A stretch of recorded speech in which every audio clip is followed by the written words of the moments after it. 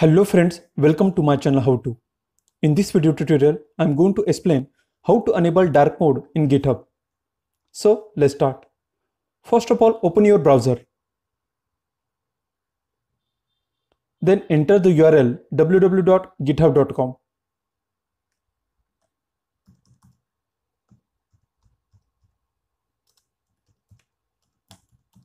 Then press enter. So this is a GitHub website.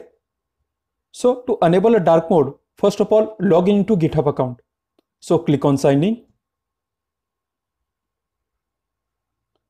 Now enter the username and password.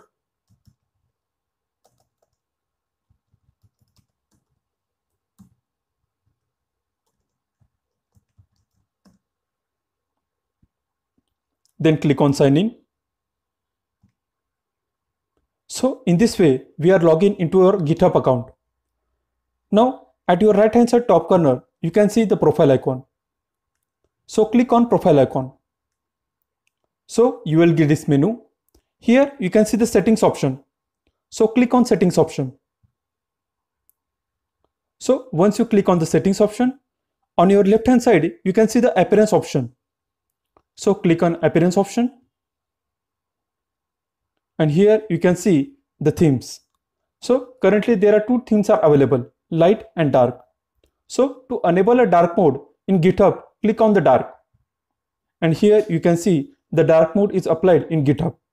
So in this way, we can apply or enable dark mode in GitHub. That's all. Thanks for watching my video. If you are new to my channel, please subscribe my channel how to. Thanks a lot.